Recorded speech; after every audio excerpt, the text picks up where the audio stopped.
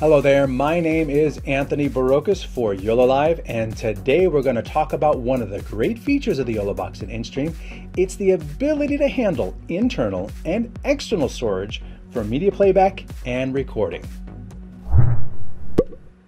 The internal video playback capability is one of our customers' favorite features on the YOLO Box and InStream.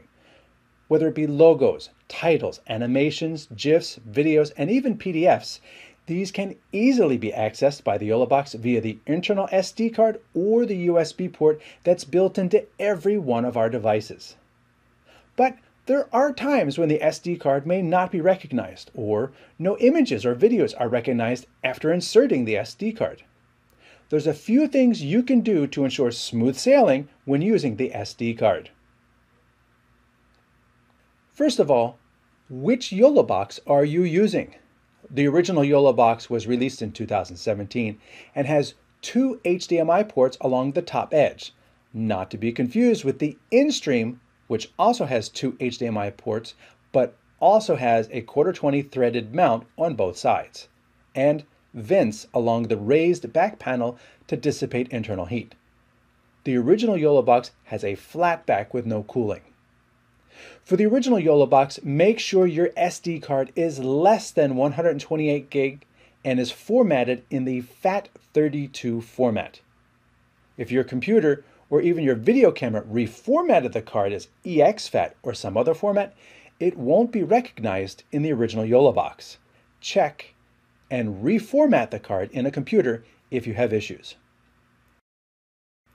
To check the format of your SD card on a Mac, Insert the SD card into an SD card slot or media reader. Right-click the media and select Get Info. This will show you the format of your SD card. If your SD card is not FAT32, you'll need to reformat it to be FAT32. Click the search icon or type Command Space and start to type Disk Utilities.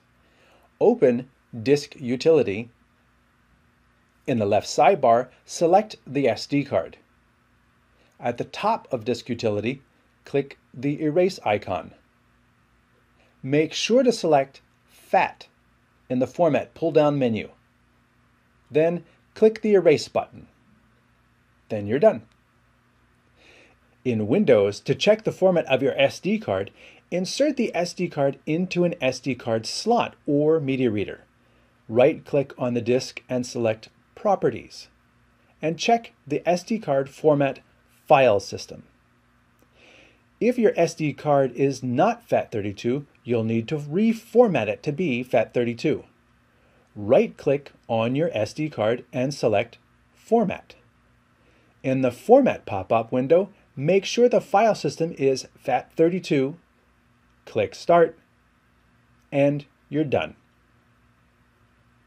Now, if you are having problems that your videos or images cannot be recognized, make sure that the images are in JPEG or the PNG format if you have transparency. GIF and animated GIF are also supported.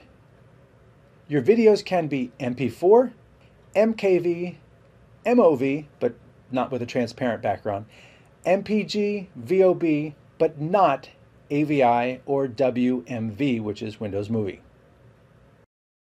The YOLOBox Pro is a newer machine and has an upgraded SD card reader capable of handling SD cards formatted with FAT32, EXFAT, and NTFS with up to 1 terabyte of storage. So your 256 and 512 gigabyte SD cards will work on the Pro, but not the original YOLOBox, which again is limited to 128 gigabyte cards.